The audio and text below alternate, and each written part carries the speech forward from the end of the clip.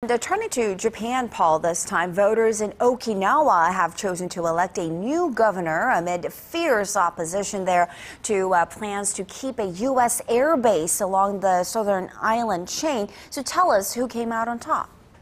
That would be former Naha Mayor Takeshi Onaga, who ran on a popular platform to downsize the American military's presence in the territory permanently. The 64 year old opposition candidate took the win in Sunday's polls over two term incumbent governor Hokazu Nakaima. The Tokyo backed politician had tried to reach a compromise with his constituents by agreeing to move a U.S. airbase from the city center to the northern coastline. However, local residents, citing a range of noise and safety concerns, say they want it off the island altogether. The noise is very loud even late at night. The U.S. base has brought danger, distress, and noise pollution to the local people. These problems are affecting the daily lives of local residents. Moreover, there is possibility of an air crash near the U.S. base. The U.S. aircraft fly every day, and the risks of a crash are always there.